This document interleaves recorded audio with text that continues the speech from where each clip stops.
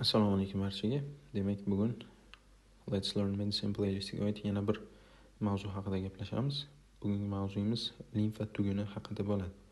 Demak dastlab limfa tugunini tuzilishi va vazifalariga to'xtalib o'tamiz. Keyin uni tuzilishini rasmlar va e, gistologik preparatda o'rganamiz.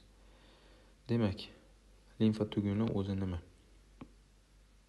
Demak limfa tuguni bu ikkilamchi limfoid organ hisoblanadi va ko'plab afferent va bitta yoki ikkita efferent e, yo'llarga ega. Ya'ni bu nima degani?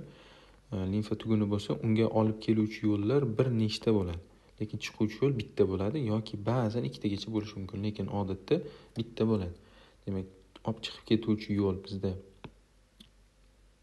demak olib chiqib ketuvchi yo'l bizda efferent deb nomlanadi va afferentlar esa limfaga olib keluvchi yo'l bo'ladi. Ya'ni bu limfa tuguniga limfa suyuqligini olib keladi efferent esa olib chiqib ketadi.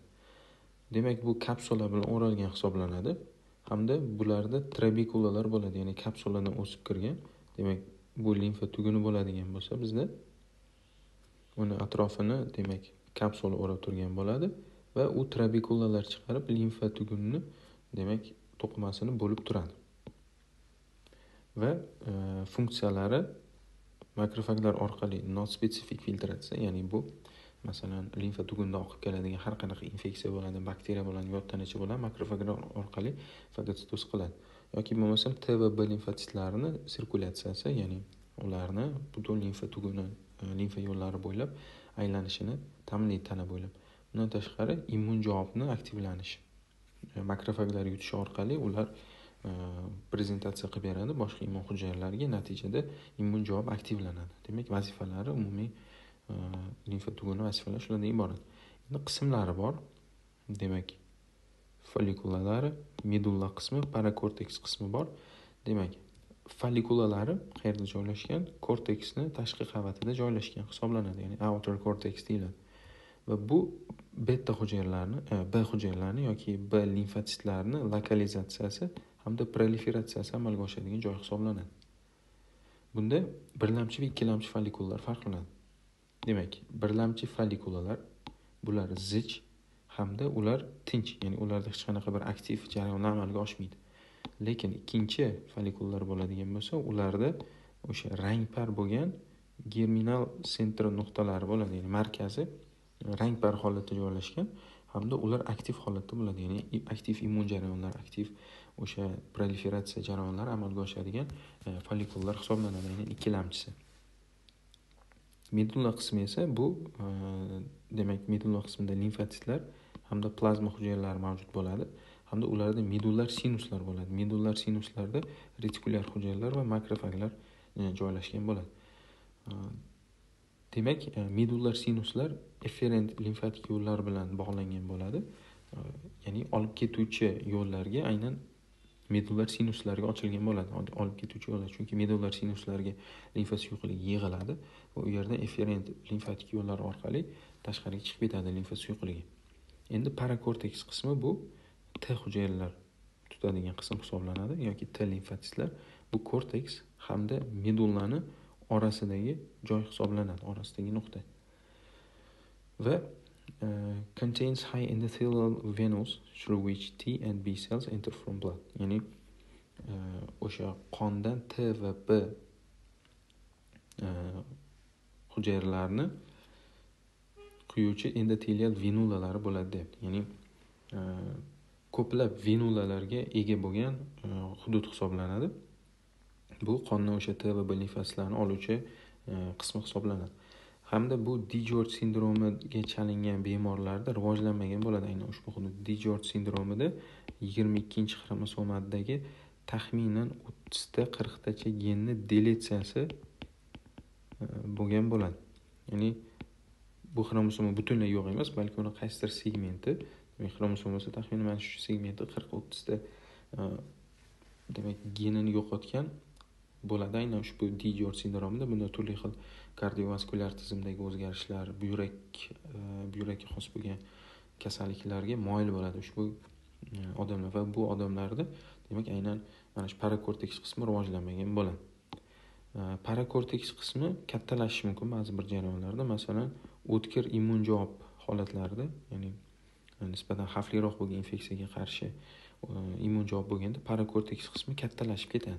Masalan bu e, epshteyn bar virusi e, bu o'sha gerpes viruslari avlodiga mansub virus hisoblanadi. Bundan tashqari boshqa bir virusli infeksiyalar natijasida parakortikal giperplaziya kuzatiladi. Giperplaziya degani bu e, bunda o'sha to'qima kattalashi qanday bo'ladi masalan normada deylik to'qima mana shunday hajmga ega. Ichida demak taxminan uchta hujayra bor deylik. Bu kattalashishi ikki xil bo'lishi mumkin. Demak ikkalasida ham kattalashadi giper trofiya va giperplaziya. Gipertrofiyada o'sha uchta hujayrani hajmi kattalashganligi tufayli to'qima kattalashadi. Ya'ni hujayrani soni o'zgarmaydi. Bunda ham uchta bunda ham uchta hujayra. Lekin giperplaziyada hujayrani hajmi o'zgarmaydi lekin soni ortib ketadi. Bunda masalan e, deylik o'nta hujayra bo'lib ketdi deylik. Bunda demak hujayra soni ortishi hisobiga giperplaziyada to'qima kattalashadi va bu borib borib limfa adenopatiyalarga sabab bo'ladi. Ya'ni limfa bezlarini o'tkir e, shikastlanishi va ishini qaytmas darajadagi patologik jarayonlarga olib keladi. Endi ularni rasmlari misolida o'rganamiz. Demak biz gaplashgan afferent limfatik yo'llarni ko'rishimiz mumkin. Bular bir nechta joylashgan demak bu joyda bu joyda joylashgan bu joyda joylashgan. Demak rasmda hozir bizda to'rtta berilyapti.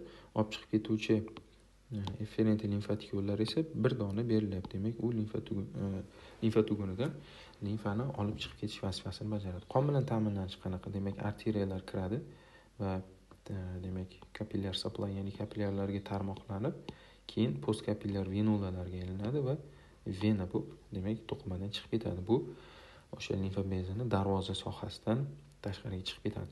Va biz gaplashgan qismlarimiz korteks qismi folikulalarni gaplashdik birlamchi va ikkilamchi folikulalar ko'rib turganimizdek ikkilamchi follikulani o'rtasi nisbatan rangpar holatda joylashgan. Birlamchi follikula esa zich holatda joylashgan. Ikkilamchi follikulani ko'rdik hajmi kattaroq chunki unda aytdik aktiv jarayonlar aktiv immun jarayonlar amalga oshadi. Va medullar sinuslar medullar kord joylashgan medullar sinusni aytdik venulalarga ulangan bo'ladi va qondan t va b limfositlarni oladigan joy hisoblanadi va kapsula bilan o'ralgan etik va kapsulani trabekulalar chiqarishini ya'ni to'qimaga o'sib kirgan to'siqlar chiqarish orqali to'qimani bo'lib turishini aytdik. Va biz gaplashgan parakorteks qismi bu turli xil virusli infeksiyalar holatida kattalashadigan qismi hisoblanadi. Demak e, chapdagi rasmda esa gematoksilin va eazin bilan bo'yalgan preparatni ko'rishimiz mumkin. Bunda o'sha biz ko'ramiz mana ikkilamchi follikulalar o'rtasi rangpar holatda joylashgan ikkilamchi follikulalarni ko'rishimiz mumkin va ularni orasida zich joylashgan birlamchi follikulalar joylashgan. Va bizda mana kapsula va uni o'sib kirgan trabikulalarni ko'rishimiz mumkin to'qimaga o'sib kirgan.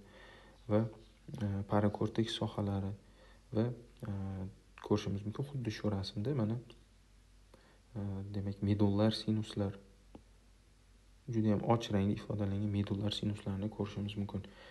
Va bu joyda kapillyarlar yoki e, venalar aniq ko'rinmagan lekin aynan follikulalarni qismlarini medullalarni kapsulasini va trabikulalarni anchagina e, farqlab olsak bo'ladigan rasm hisoblanadi.